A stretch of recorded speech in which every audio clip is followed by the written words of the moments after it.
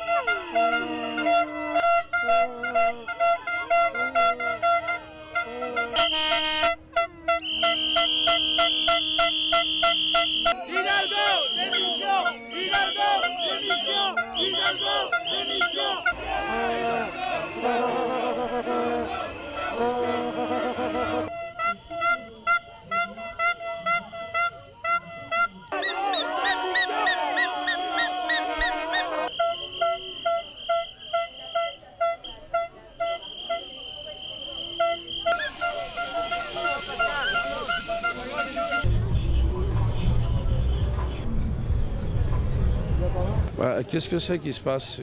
Ils appuient sur un bouton, la lumière s'allume. Il y a des centaines de travailleurs qui ont fait ça, puis eux ils viennent s'amuser à appuyer sur le bouton. Et les travailleurs, ils n'ont même pas le droit de boire un coup. Voilà, c'est comme d'habitude.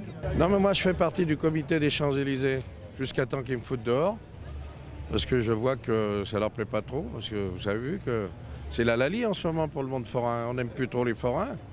Parce que Mme Hidalgo a décidé de travailler avec les riches maintenant. Elle s'est fait élire par les pauvres, elle travaille avec les riches. Elle a donné 25 hectares dans le bois de Boulogne à M. Bernard Arnault pour faire une fête foraine permanente. Et on dégage les forains. Et voilà, c'est simple. Elle pense que c'est pas bien de dire ce qu'on pense. Elle voudrait bien qu'on meure tranquillement. Donc c'est des malfaisants. Voilà, alors elle pourra dire aux gosses de Paris, vous allez chez les riches, Disney sur l'Est et Bernard Arnault sur l'Ouest. Et les forains, on élimine. Les plaisirs populaires, on les élimine. Alors moi, je suis pas d'accord. Comme je fais de la résistance, il faut m'éliminer. Est-ce que c'est la dernière année de la Grande Rue? Non, pas du tout. Ce qu'ils ont voté aujourd'hui, d'abord, c'est des amateurs à la ville de Paris en ce moment. C'est vraiment des amateurs. Vous savez, des procédures, j'en ai eu 14 au Conseil d'État, je les ai tous gagnés. Ils vont payer, c'est les Parisiens qui vont payer les indemnités. C'est pas grave, ils s'en foutent, ils ont leur chèque à la fin du mois. C'est des, des gens, c'est des amateurs. Ils discutent. Ils ont voté un vœu aujourd'hui. Le juge estimera ce que c'est qu'un vœu. Ça n'a aucune valeur juridique. Donc je vais aller en justice, c'est simple. C'est fini pour le marché de Noël cette année Non, pour cette année, oui, ils ont tout fait pour que ça ne marche pas.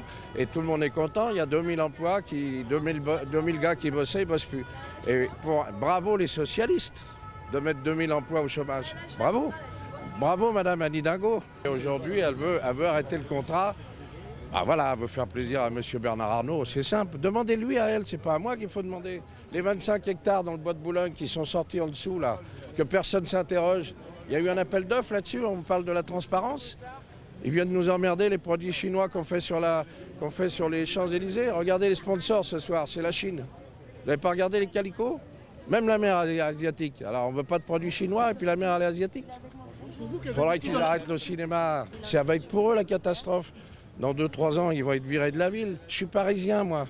Ça fait 78 ans que je suis à Paris. J'ai jamais vu une ville si sale où on ne peut plus circuler.